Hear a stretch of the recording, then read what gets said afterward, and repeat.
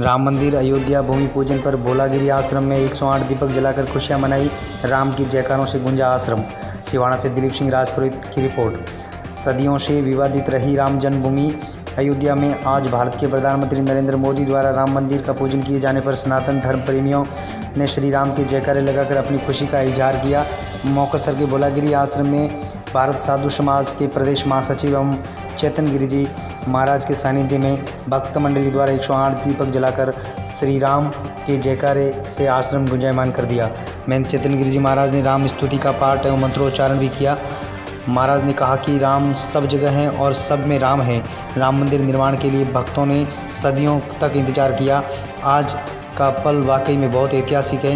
महाराज ने इस दौरान मर्यादा पुरुषोत्तम भगवान श्री राम के जीवन पर प्रकाश डालते हुए सभी को बिना भेदभाव किए एकता में रहने की सीख दी।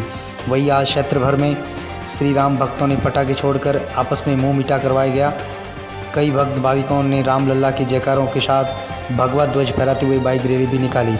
इस मौके पर महंत प्रकाश गिरी जी, शिष्य उमेद रघुनंदन सोनी जसराज सिंह, राजपुरोहित, प्रवीण सिसोदिया सहित आश्रम के विद्यार्थी मौजूद रहे। श्री राम, आज जैसा कि सबको ज्ञात है, पूरे विश्व भर में भगवान श्री रामचंद्र जी के मंदिर का शिलान्यास है। और उन्हीं उत्सव में, उन्हीं आनंद में, उमंग के साथ में मैं भोलागिरी आश्रम से चेतनगिरी महाराज, आज भोलागिरी आश्रम में भी 108 दीपक जला करके खुशी और आनंद के साथ में हम लोगों ने यहाँ पूजन किया।